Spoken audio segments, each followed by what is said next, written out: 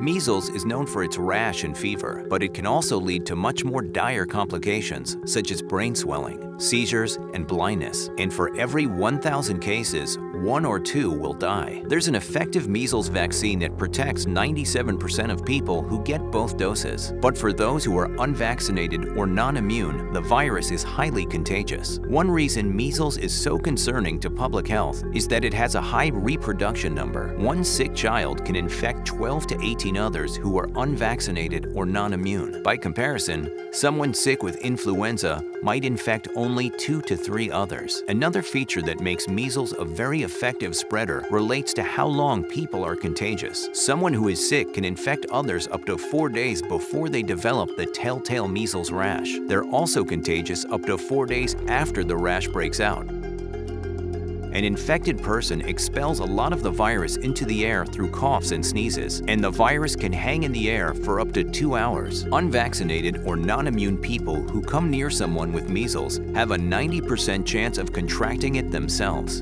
Measles is dangerous and highly infectious, but largely preventable. The more people who are vaccinated, the more the population is protected, either directly through vaccination or indirectly via herd immunity.